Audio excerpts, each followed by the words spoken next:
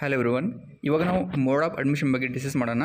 ಅಂದರೆ ನೀವು ಅಗ್ರಿಕಲ್ಚರ್ ಆಗಿರ್ಬೋದು ವೆಟರ್ನರಿ ಆಗಿರ್ಬೋದು, ಮತ್ತು ಬೇರೆ ಎಲ್ಲ ಫಂಕ್ಷನ್ಸ್ ಕೋರ್ಸಸ್ ಆಗಿರ್ಬೋದು. ಯಾವುದೇ ಕೋರ್ಸ್ಗೆ ಮತ್ತು ಯಾವುದೇ ಫಾಂಕ್ಷನ್ಸ್ ಕಾಲೇಜ್ಗೆ ಜಾಯ್ನ್ ಆಗಬೇಕಂತ ಹೇಳಿದ್ರೆ, ಯಾವ್ಯಾವ ಟೈಪ್ ನಿಮಗೆ ಎಕ್ಸಾಮಿನೇಷನ್ ಇರುತ್ತೆ, ಅದಕ್ಕೆ ಅಡ್ಮಿಷನ್ ತೊಗೊಳಕ್ಕೆ ಅಂತ ಡಿಸ್ಕಸ್ ಮಾಡೋಣ. ಸೊ ತುಂಬ ಜನಕ್ಕೆ ಇದ್ರ ಬಗ್ಗೆ ಗೊತ್ತಿರ್ಬೋದು ಬಟ್ ಯಾರಿಗಾದರೂ ಗೊತ್ತಿಲ್ಲ ಅಂತ ಹೇಳಿದ್ರೆ ಇವಾಗ ಬೇಕಾದ್ರೂ ನೀವು ತಿಳ್ಕೊಳ್ಳಿ. ಸೊ ಇವಾಗ ಈ ಎಲ್ಲ ಕೋರ್ಸ್ಗೆ ಅಡ್ಮಿಷನ್ ಆಗೋಕ್ಕೆ ಕೆ ಸಿ ಟಿ ಎಕ್ಸಾಮ್ ಒಂದೇ ಅಲ್ಲ ಸೊ ಬೇರೆ ಎಕ್ಸಾಮ್ಸ್ ಕೂಡ ಇರುತ್ತೆ. ಸೊ ಅದ್ರ ಮುಖಾಂತರ ಕೂಡ ನೀವು ಜಾಯ್ನ್ ಆಗ್ಬೋದು. ಈ ಒಂದು ಟಾಪಿಕ್ ಜೊತೆಗೇ ನಾವು ಬೇರೆ ಇನ್ಫಾರ್ಮೇಷನ್ ಕೂಡ ನೋಡ್ಕೊಳ್ಳೋಣ. ಅಂದರೆ ನಿಮಗೆ K C E T rank announce ಮಾಡಬೇಕಾದ್ರೆ ಯಾವ ಮಾರ್ಕ್ಸ್ನ ಕನ್ಸಿಡರ್ ಮಾಡ್ತಾರೆ ಅಂತ.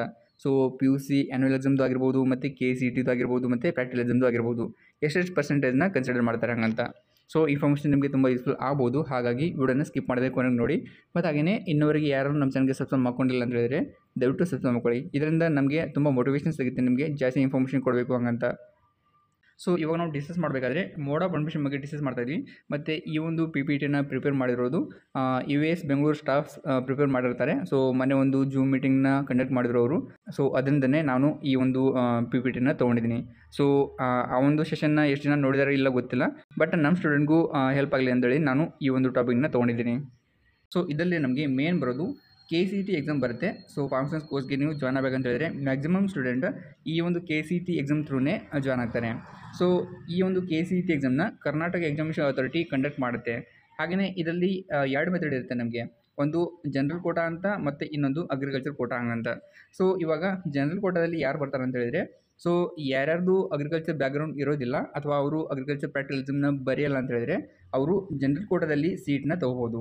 ಸೊ ಇವಾಗ ಕರ್ನಾಟಕದಲ್ಲಿ ಟೋಟಲ್ ಎಷ್ಟು ಫಾರ್ಮ್ಸಸ್ ಕೋರ್ಸ್ಗೆ ಸೀಟ್ ಇರುತ್ತಲ್ಲ, ಅದರಲ್ಲಿ ಫಿಫ್ಟಿ ಪರ್ಸೆಂಟ್ ಜನರಲ್ ಕೋಟಕ್ಕೆ ಮತ್ತು ಫಿಫ್ಟಿ ಪರ್ಸೆಂಟ್ ಅಗ್ರಿ ಕೋಟಕ್ಕೆ ಡಿವೈಡ್ ಮಾಡಿರ್ತಾರೆ. ಬಟ್ ಇವಾಗ ಯಾರು ಅಗ್ರಿಕಲ್ಚರ್ ಪ್ರಾಕ್ಟಿಕಲ್ನ ಬರೀತಿದ್ದಾರೆ ಅಥವಾ ಯಾರದ್ದು ಅಗ್ರಿಕಲ್ಚರ್ ಬ್ಯಾಕ್ಗ್ರೌಂಡ್ ಇರುತ್ತೆ, ಅವರು ಅಗ್ರಿಕೋಟದಲ್ಲಿ ಅಡ್ಮಿಷನ್ನ ತೊಗೋಬೋದು ಸೊ ಇಲ್ಲಿ ಅಗ್ರಿಕಲ್ಚರ್ ಕೋಟದಲ್ಲಿ ಬರೋರು ಎರಡು ಕಡೆ ಕಾಂಪಿಟೇಷನ್ ಮಾಡ್ಬೋದು. ಸೊ ಅವ್ರದ್ದು ರ್ಯಾಂಕ್ ಚೆನ್ನಾಗಿದ್ದರೆ ಅವರು ಜನರಲ್ ಕೋಟದಲ್ಲಿ ಕೂಡ ಅಡ್ಮಿಷನ್ನ ತೊಗೋಬೋದು ಇಲ್ಲಾಂದರೆ ಅವ್ರದ್ದು ರ್ಯಾಂಕ್ ಸ್ವಲ್ಪ ಎವರೇಜ್ ಇದೆ ಅಂತ ಹೇಳಿದ್ರೆ, ಅವರು ಅಗ್ರಿ ಕೋಟದಲ್ಲಿ ಕೂಡ ಅಡ್ಮಿಷನ್ನ ತೊಗೋಬೋದು ಬಟ್ ಜನರಲ್ ಕೋಟಾ ಕ್ಯಾಂಡಿಡೇಟ್ ಅಗ್ರಿಕೋಟದಲ್ಲಿ ಅಡ್ಮಿಷನ್ನ ತೊಗೊಳಕ್ಕೆ ಆಗಲ್ಲ. ಸೊ ಇವಾಗ ನಿಮಗೆ ಕೆ ಸಿ ಟಿ ರಿಸಲ್ಟ್ ಬರುತ್ತಲ್ಲ, ಅಥವಾ ಕೆ ಸಿ ಟಿ ರ್ಯಾಂಕ್ನ ಅನೌನ್ಸ್ ಮಾಡ್ತಾರಲ್ಲ ಸೊ ಅವಾಗ ಕೂಡ ನಿಮಗೆ ಎರಡು ಡಿಫ್ರೆಂಟ್ ರ್ಯಾಂಕ್ನ ಅನೌನ್ಸ್ ಮಾಡ್ತಾರೆ ಫಾರ್ಮ್ಸನ್ಸ್ ಕೋರ್ಸ್ಗೆ ಸಪ್ರೇಟಾಗಿ ಇದರಲ್ಲಿ ಒಂದು ಅಗ್ರಿಕಲ್ಚರ್ ಜನರಲ್ ರ್ಯಾಂಕ್ ಅಂತ ಇರುತ್ತೆ, ಮತ್ತು ಒಂದು ಅಗ್ರಿಕಲ್ಚರ್ ಪ್ರಾಕ್ಟಿಕಲ್ ರ್ಯಾಂಕ್ ಅಂತ ಇರುತ್ತೆ. ಸೊ ಇವಾಗ ಯಾರ್ಯಾರು ಪ್ರಾಕ್ಟಿಕಲಿಸಮ್ನ ಬರೆದಿರ್ತಾರೆ, ಅವರಿಗೆ ಎರಡು ರ್ಯಾಂಕ್ನ ಸಪ್ರೇಟಾಗಿ ಕೊಟ್ಟಿರ್ತಾರೆ. ಬಟ್ ಇವಾಗ ಯಾರ್ಯಾರು ಅಗ್ರಿಕಲ್ಚರ್ ಪ್ರಾಕ್ಟಿಕಲಿಸಮ್ನ ಬರೆಯಲ್ಲ, ಅವರಿಗೆ ಒಂದೇ ರ್ಯಾಂಕ್ ಇರುತ್ತೆ. ಅಗ್ರಿಕಲ್ಚರ್ ಜನರಲ್ ರ್ಯಾಂಕ್ ಅಂತ ಒಂದೇ ಇರುತ್ತೆ.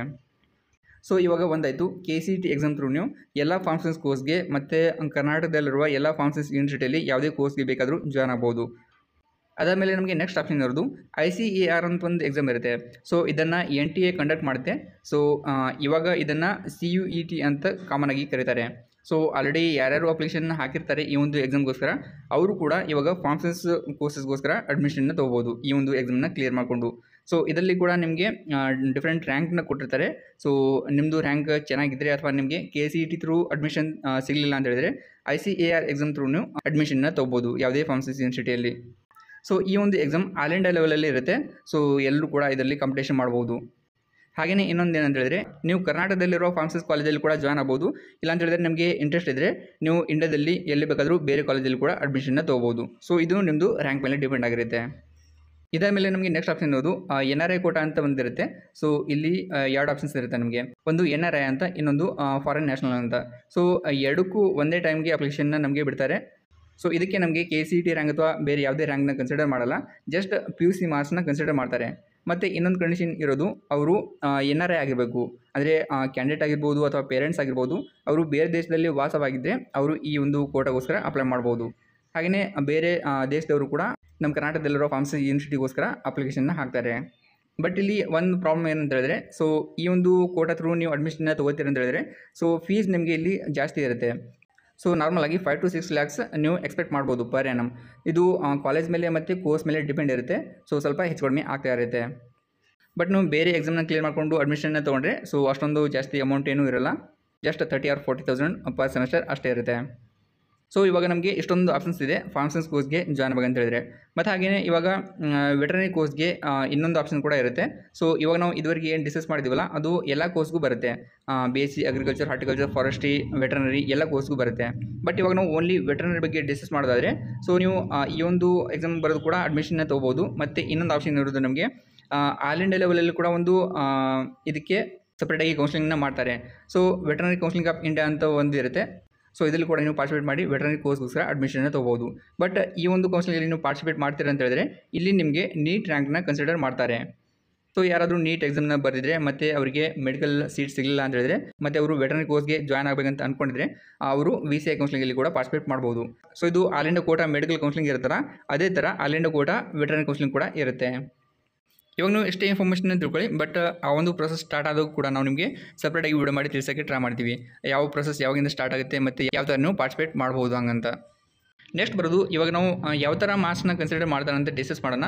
ಸೊ ಪಿ ಯು ಸಿ ಆಗಿರ್ಬೋದು ಮತ್ತು ಕೆ ಸಿ ಟಿ ಆಗಿರ್ಬೋದು ಹಾಗೆಯೇ ಪ್ಯಾಟಲಿಸಮ್ ಆಗಿರ್ಬೋದು.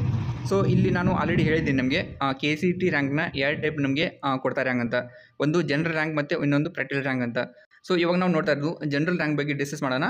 ಸೊ ಇಲ್ಲಿ ಬೇರೆ ಬೇರೆ ಕೋರ್ಸ್ಗೆ ಬೇರೆ ಬೇರೆ ಥರ ಕನ್ಸಿಡರ್ ಮಾಡ್ತಾರೆ.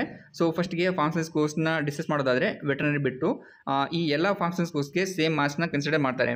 ಸೊ ಇಲ್ಲಿ ನಮಗೆ P U C P C M B ಸಬ್ಜೆಕ್ಟ್ದು fifty ಪರ್ಸೆಂಟ್ನ ಕನ್ಸಿಡರ್ ಮಾಡ್ತಾರೆ. ಮತ್ತು K C T P C M ಬಿದು fifty percent ಮಾರ್ಕ್ಸ್ನ ಕನ್ಸಿಡರ್ ಮಾಡ್ತಾರೆ. ಸೊ ಇದು ನಾವು ಜನರಲ್ ರ್ಯಾಂಕ್ಗೋಸ್ಕರ ನೋಡ್ತಾ ಇದ್ದೀವಿ so P U C P C M B ಮತ್ತು K C T P C M B so ಈ ಒಂದು ಸಬ್ಜೆಕ್ಟು ಮಾರ್ಕ್ಸ್ನ ಕನ್ಸಿಡರ್ ಮಾಡಿಕೊಂಡು ನಮಗೆ ಜನರಲ್ ರ್ಯಾಂಕ್ನ ಅನೌನ್ಸ್ ಮಾಡ್ತಾರೆ. ಹಾಗೆಯೇ ನಾವು ವೆಟರ್ನರಿ ಕೋರ್ಸ್ಗೋಸ್ಕರ ನೋಡೋದಾದರೆ ಸೊ ಇದು ಕೂಡ ಜನರಲ್ ರ್ಯಾಂಕ್ ಆಗಿರುತ್ತೆ. ಸೊ ಇಲ್ಲಿ ನಮಗೆ ಸೇಮ್ ಪರ್ಸೆಂಟೇಜ್ನ ಕನ್ಸಿಡರ್ ಮಾಡ್ತಾರೆ but only P C B ಮಾರ್ಕ್ಸ್ನ ಅಷ್ಟೇ ಕನ್ಸಿಡರ್ ಮಾಡ್ತಾರೆ. So P C B P U ಸಿದು ಫಿಫ್ಟಿ ಪರ್ಸೆಂಟ್ ಮತ್ತು P C B K C ಟಿದು fifty percent ಮಾರ್ಕ್ಸ್ನ ಕನ್ಸಿಡರ್ ಮಾಡಿಕೊಂಡು ನಮಗೆ ವೆಟರ್ನ್ ರ್ಯಾಂಕ್ನ ಅನೌನ್ಸ್ ಮಾಡ್ತಾರೆ. ಸೊ ಇಲ್ಲಿ ಕೂಡ ಇನ್ನೊಂದು ಪಾಯಿಂಟ್ ಕೂಡ ನೀವು ನೆನ್ಪಿಡಬೇಕಾಗುತ್ತೆ. So K C T rank announce ಮಾಡಬೇಕಾದ್ರೆ ಒಂದು ಜನರಲ್ ಅಗ್ರಿಕಲ್ಚರ್ ರ್ಯಾಂಕ್ನ ಅನೌನ್ಸ್ ಮಾಡ್ತಾರೆ, ಮತ್ತು ಇನ್ನೊಂದು ಜನರಲ್ ವೆಟರ್ನ್ ರ್ಯಾಂಕ್ನ ಅನೌನ್ಸ್ ಮಾಡ್ತಾರೆ. ಹಾಗೆಯೇ ಇನ್ನೊಂದು ಬಂದುಬಿಟ್ಟು ಪ್ರಾಕ್ಟಿಕಲ್ ಅಗ್ರಿ ರ್ಯಾಂಕ್ನ ಅನೌನ್ಸ್ ಮಾಡ್ತಾರೆ ಮತ್ತು ಪ್ರಾಕ್ಟಿಕಲ್ ವೆಟರ್ ರ್ಯಾಂಕ್ನ ಅನೌನ್ಸ್ ಮಾಡ್ತಾರೆ. ಸೊ ಈ ಥರ ನನಗೆ ಸಪ್ರೇಟಾಗಿ ಡಿಫ್ರೆಂಟ್ ರ್ಯಾಂಕ್ಸ್ ಇರುತ್ತೆ. K C T result announce ಮಾಡಬೇಕಾದ್ರೆ. ಸೊ ಅದು ನಿಮಗೆ ಅರ್ಥ ಆಗಿರ್ಬೋದು ಅನ್ಕೋತೀನಿ ಮತ್ತು ಹಾಗೆಯೇ ನೆಕ್ಸ್ಟ್ ಬಂದ್ಬಿಟ್ಟು ಇವಾಗ ನಾವು ಅಗ್ರಿ ಪ್ರಾಕ್ಟಿಕಲ್ ರ್ಯಾಂಕ್ ಬಗ್ಗೆ ಡಿಸ್ಕಸ್ ಮಾಡೋದಾದರೆ ಸೊ ಇಲ್ಲಿ ನಮಗೆ ಡಿಫ್ರೆಂಟಾಗಿ ಮಾರ್ಕ್ಸ್ನ ಕನ್ಸಿಡರ್ ಮಾಡ್ತಾರೆ. ಸೊ ಫಸ್ಟಿಗೆ ನಾವು ಈ ಎಲ್ಲ ಕೋರ್ಸಸ್ಗೆ ನೋಡ್ಕೊಳ್ಳೋಣ ವೆಟರ್ನರಿ ಬಿಟ್ಟು. ಸೊ ಇಲ್ಲಿ ನಮಗೆ twenty five percent P C B second P ಯುದು ಮಾರ್ಕ್ಸ್ನ ಕನ್ಸಿಡರ್ ಮಾಡ್ತಾರೆ. ಹಾಗೆಯೇ twenty five percent K C T P C B ಮಾರ್ಕ್ಸ್ನ consider ಮಾಡ್ತಾರೆ.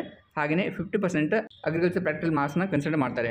ಸೊ ಇವಾಗ ನಮಗೆ ಅಗ್ರಿ ಪ್ರಾಕ್ಟಿಕಲ್ ರ್ಯಾಂಕ್ನ ಅನೌನ್ಸ್ ಮಾಡಬೇಕಾದ್ರೆ, ಮೂರು ಎಕ್ಸಾಮ್ದು ಮಾರ್ಕ್ಸ್ನ ಕನ್ಸಿಡರ್ ಮಾಡಿಕೊಂಡು ನಮಗೆ ಒಂದು ರ್ಯಾಂಕ್ನ ಅನೌನ್ಸ್ ಮಾಡ್ತಾರೆ.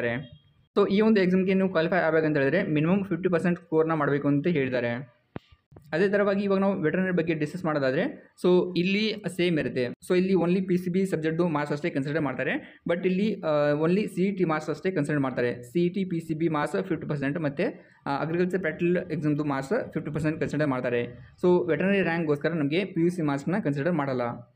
ಸೊ ಇಲ್ಲಿ ನಿಮಗೆ ಸ್ವಲ್ಪ ಕನ್ಫ್ಯೂಷನ್ ಆಗ್ಬೋದು ಬಟ್ ಆದರೂ ಕೂಡ ನೀವು ಅರ್ಥ ಮಾಡ್ಕೊಳ್ಳೋಕ್ಕೆ ಟ್ರೈ ಮಾಡಿ.